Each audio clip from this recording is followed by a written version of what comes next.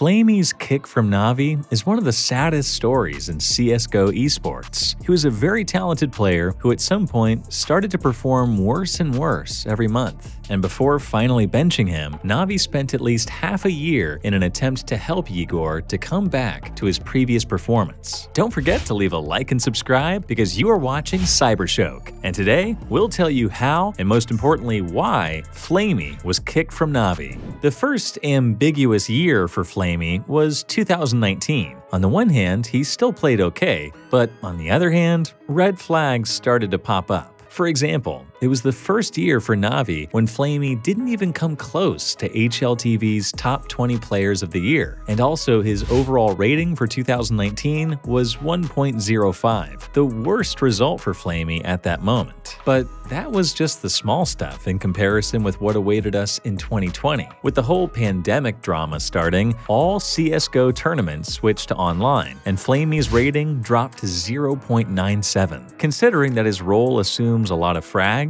it's honestly a bad number. Igor started to play very unstably, and Richard Lewis said that a couple of years ago he was the main competitor for s1mple, but now he shows us the worst performance of his whole career. ceh9, who played in Navi's legendary roster in 1.6, said that Edward could easily replace Flamie now. Navi tried their best to help Igor. They hired a psychologist and gave him more time to rest, but it was to no avail. At the start of 2021, the team took more drastic action. They freed Flamie from playing on Inferno so he would feel less pressure on himself. But the outcome turned out to be the opposite. By seeing how Navi preferred to play with b1t, Igor tilted even more. We are sure that b1t's addition to Inferno wasn't just an attempt to slowly kick Flamie. At the start, they sincerely wanted to help him. Even Don Hatchie, whose insides are usually correct, stated that Navi will stop playing with b1t after Online Era. innersh1ne, FaZe Clan's analyst, expressed an interesting opinion on this topic. He said that Flamie, as a player, desperately needed an experienced captain with lots of mid-round calls, and Boombl4 just couldn't do it. Kiril gave freedom to his players, and Flamie got lost in it. As a result, he started this foolish competition with b1t in his mind, and tilted a lot from seeing a young player from the academy roster